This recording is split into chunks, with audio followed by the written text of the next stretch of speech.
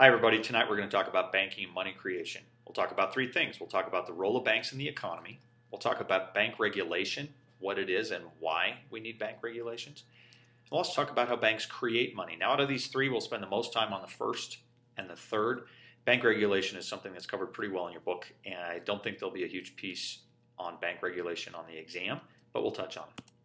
Okay, let's talk about the role of banks. What do banks do? Well, banks accept deposits and keep them safe. That's the primary role of a bank. They also make loans to borrowers. What do those borrowers do? They turn around and they use the money to build things, to buy things, to make investments. Well, how does this work out for everybody? Well, depositors get security for their money. Borrowers get the means to create things, grow the economy, and banks make money in those transactions. Now, banks keep only a small amount of what they take in in those deposits what they do is they take what's not required for them to hold on to, sometimes called reserves, and they loan out the rest, and that's how they make money. So they take a small amount of money in deposits, they then turn around and they loan out the rest of it. And that's really where the economy grows as a result of the banking system. Now, governments tell banks how much to keep in reserve, or sometimes known as the reserve ratio, happens to be right now around 10%. In order to understand how banks make money and understand how they create money for the money supply, let's use something called a T account. A T account is nothing more than a simple kind of balance sheet. Looks like a T, that's why they call it the T account. On the left side, it has assets, right side, it has liabilities. Said another way, assets are what I own, or in this case, what the bank owns. Liabilities are what I owe, or what the bank owes. Loans are assets that the bank owns. Cash reserves are assets that the bank owns.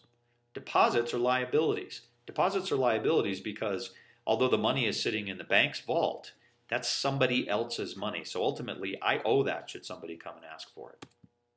Let's take an example here Main Street Bank. Main Street Bank has $2 million in loans, has $200,000 in cash reserves, and $2 million in deposits.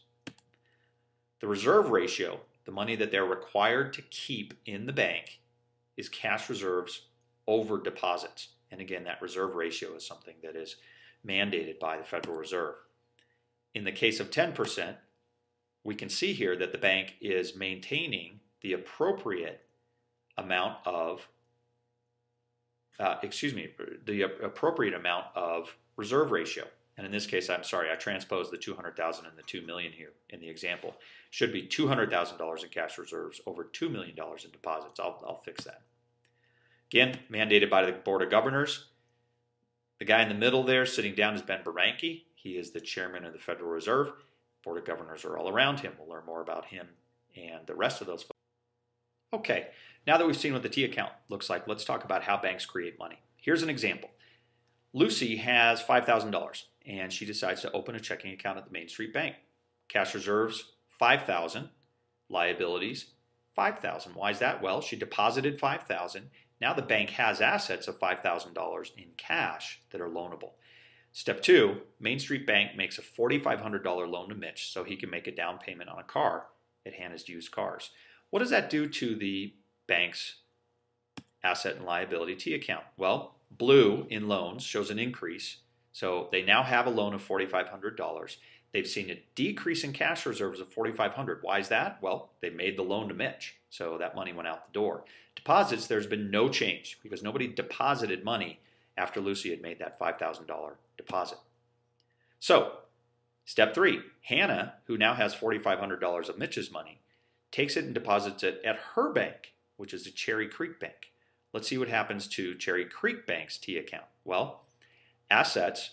There have been no change to loans because Cherry Creek didn't issue a loan as a result of this. Their cash reserves went up $4,500 when Hannah deposited that money, and their deposits went up when Hannah put that money in there. Now, step four, Cherry Creek, Cherry Creek Bank keeps 10% in the reserve ratio, as we've seen, and makes a $44,050 loan to Molly. Well, what does that do? Well, let's go through the steps. Step one, Lucy opened a checking account with $5,000. Step two, Mitch took out a $4,500 loan to buy a car. Step three, Hannah deposited the $4,500 in her bank, and then that bank was able to loan Molly $4,050. Remember, they had to keep $450 in reserves. So, what happened here in terms of creating money? Well, that initial deposit of $5,000 from Lucy actually created additional M1 money supply of $8,550. And you can see that happen in the form of step two, where Mitch took out a loan, and step three, where Molly took out a loan. So that $5,000 created $8,550.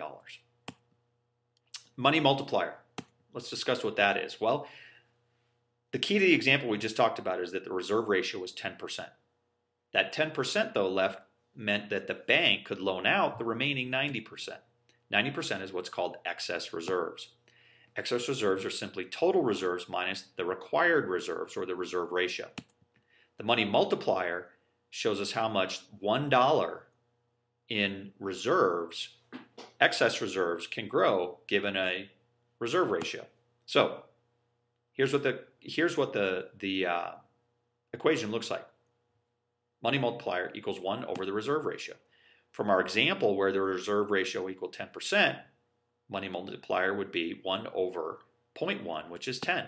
So initial excess reserves of $4,500 would create, at the end of the day, if we went through more than just those four steps, we'd have $45,000 in new M1 created over the course of all those transactions. So again, a very small amount of money with one person's deposit grows over time into a lot of loans. And in this case, it's growing 10 times from $4,500 to $45,000. All right, that is it for this evening. Have a great one, and I will talk to you tomorrow.